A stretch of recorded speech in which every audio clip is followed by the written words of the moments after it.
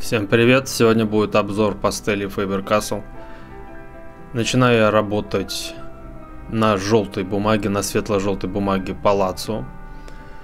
А, светлая она неспроста, потому что после тактильного, скажем так, э, взаимодействия с пастелью я понимал, что она не будет очень э, хорошо наноситься, а будет наноситься какими-то лоскутками, хлопьями. И скорее всего это значит, что светлые цвета мелков будут достаточно слабые, прозрачные, и им нужна поддержка снизу, то бишь светлой бумаги. Поэтому первый рисунок я выполняю на светлой бумаге. Не спешу, наношу тонкими слоями. Ну, точнее, не то чтобы тонкими, а как бы толстыми особо и не нанесешь эту пастель. Первое впечатление от этой пастели таково, что как будто она скользит по бумаге связующая сильно впитывается быстро достаточно, делает скользким поверхность. И следующие слои нанести крайне тяжело. Лучше наносить бочком, создавая всякие такие интересные размазы, мутные штучки. Это у нее получается хорошо. И вообще, если слоев много, этой пастели она достаточно мутная, признак пленочки восковой сверху. В этом плане она не сильна когда много слоев, это не ее. Поэтому, работая этой пастелью, желательно сразу продумывать цветовую гамму, в которой будем работать, не намешивать много цветов и более-менее наносить сразу, наверное, чистый цвет. Далее я выполняю рисунок в скетчбуке Falafel, э, скетчбук для пастели. У него уже фактура поинтереснее, чем у бумаги Палаццо она более шершавенькая, более приемистая, то есть в этот шершавый абразив бумаги хорошо э, набивается пигментик. Но вот, допустим, мы видим, что светлые мелки, опять же, не очень на уже темной условно бумаге. Пускай она красная, но по тону она достаточно темная. То есть бумага снизу светится, поддержки никакой нет. Кое-где я нанес э, белым маркером условно световые зоны, ну больше для какого-то, наверное, эксперимента.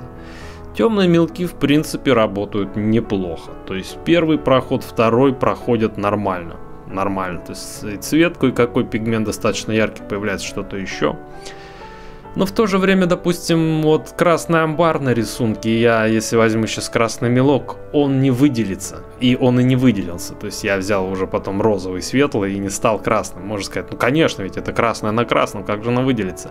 Нет, если бы я взял, к примеру, Мунгио, Сенелье, все бы там пигмент был прямо сверкал бы. Даже красное на красном. Но не здесь. Светится. Светлые мелки светятся снизу. Окей, попробовали на этом блокноте. Теперь для сравнения, на этом же блокноте я беру мелкий мунгио и выделяю цветовые зоны. Для сравнения, чтобы видно было, насколько это ярче получается. То есть, насколько вот укрывистая пастель сразу дает какие-то мощные вещи. И, соответственно, эти мощные вещи, э, в каком-то смысле слова, недоступны для Faber-Castell. В этом плане эта пастель Faber-Castell очень слабая. И в принципе, честно сказать, не могу сказать, что она как-то мне понравилась, и что я буду ее покупать и буду ей работать.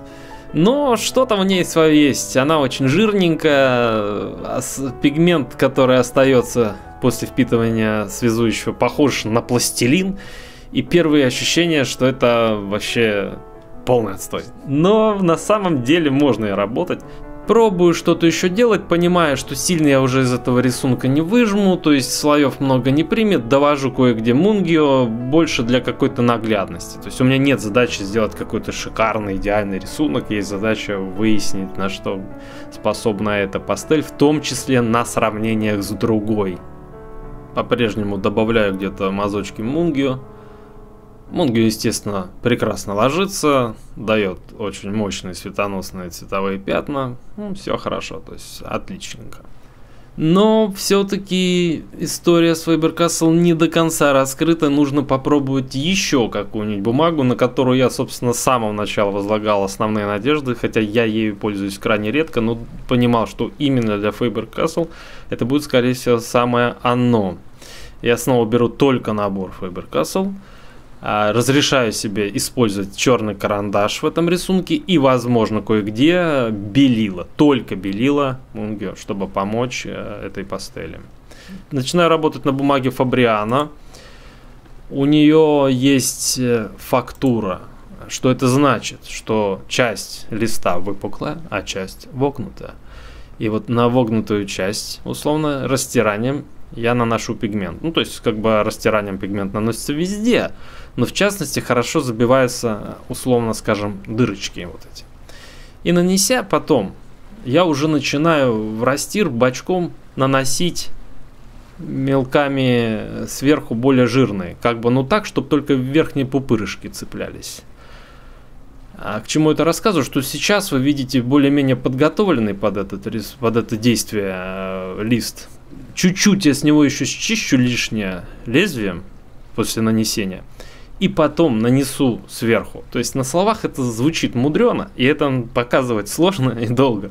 Поэтому я даже не пытаюсь здесь как-то рассказывать об этой технике, просто говорю, что после долгих манипуляций и ну, относительно долгих в течение двух часов с этой бумагой, я кое-чего добился. И получается, что алгоритм простой. Наносим чуть-чуть, где-то делаем более-менее размазанные или полутонкие слои теней или что-то еще, а потом уже жирными намазами бочком или же тычком прямым э, мелка наносим там, где нужно пожирнее. Но так как плановость может нарушаться, если мы будем везде жирно наносить, то это нужно очень сильно контролировать. И поэтому задние планы, чтобы ослабить по насыщенности, я сначала счистил лезвием, потом стал наносить в таком ключе. И мы видим, что на камнях в притирочку идет пигмент, на средних планах на сером камне уже поплотнее, а на переднем плане мощные тычочки масляной пастели Faber Castle.